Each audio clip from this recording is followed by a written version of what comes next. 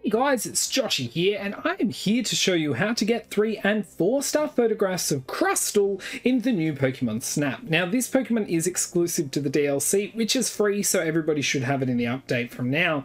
But nonetheless, you cannot find it in any of the old levels, it's only in the new ones. Now, you may know other methods that I'm not going to show, that is because I either don't know about them at this time or anything, but these ones are guaranteed to give you the results. But if, as I said, yours are different, let me know down in the comments. So we're going to head into the Badlands. You do need to be level 2 at least for this one, but it's pretty simple to have level up. We're going to head in the day. Now, while this loads, if you um, do find this helpful like it's appreciated, but you can check out the playlist linked at the end for other Pokemon and how to get their 3 and 4 star photographs. And if there's one missing, even though I've done a heap, let me know and I'll get to it soon.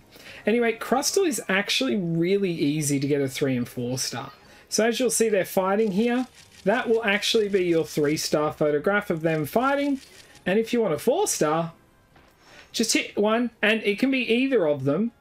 And next time they fight, the one that you gave the Illumina Orb to will win the battle and celebrate. And that's it. Like, literally, that's it.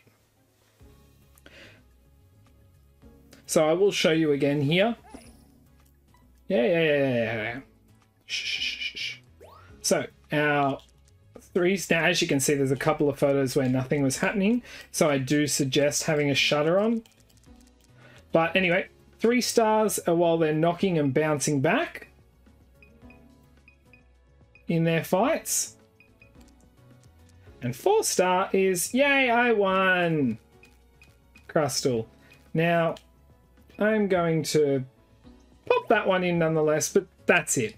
So if you guys did find this helpful, as I said, a like, you can check out my YouTube channel, a lot of different content, Pokemon are not going up weekly. There is also my Twitch channel linked down below. There is a heap of different games I play weekly, including community-based games. And finally, as I said, you can check out the playlist at the end for other Pokemon and how to get their 3 and 4 stars.